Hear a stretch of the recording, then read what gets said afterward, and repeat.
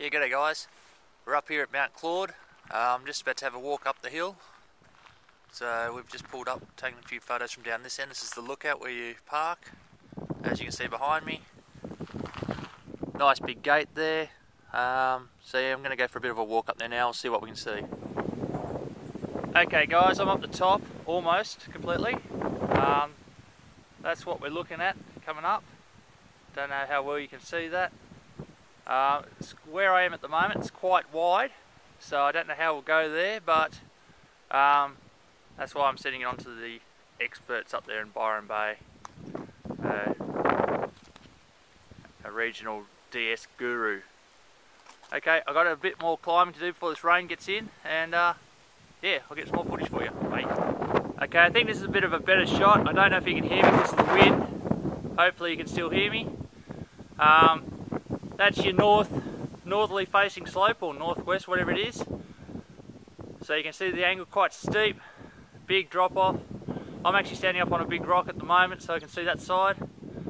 Uh, you've got power lines that run straight down in front of me here. Don't know if you can see that. I'll try and zoom in so you can see where the power pole is. So you can see it just in the distance there. Runs straight up past me.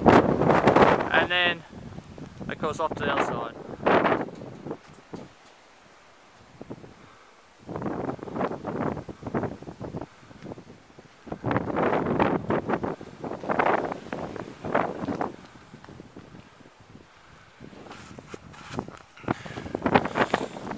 Okay guys, I don't know if you can hear me down here, don't know if the wind's blowing on it or not.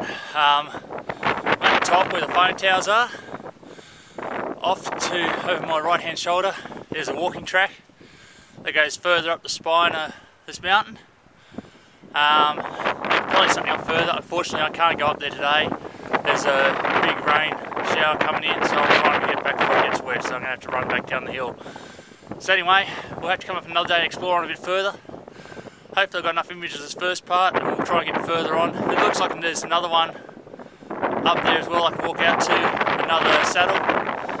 Um, it faces pretty much due east, so hopefully I'll get up here again so I can walk out there and have explore that. Okay guys, catch ya.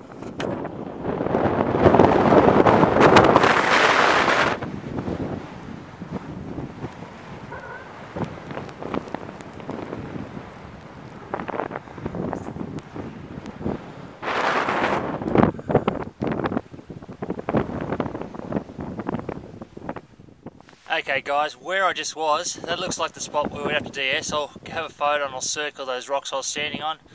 I'm a bit of a chicken when it comes to heights, so I couldn't really stand up all that well up there and take proper video, but yeah, hopefully it's enough to what you can see. If not, I'll bring Warwick up with you next time and I'll send him up the top of the rock. So, uh, see how we go.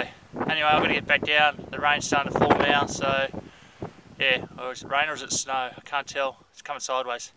Okay, bye.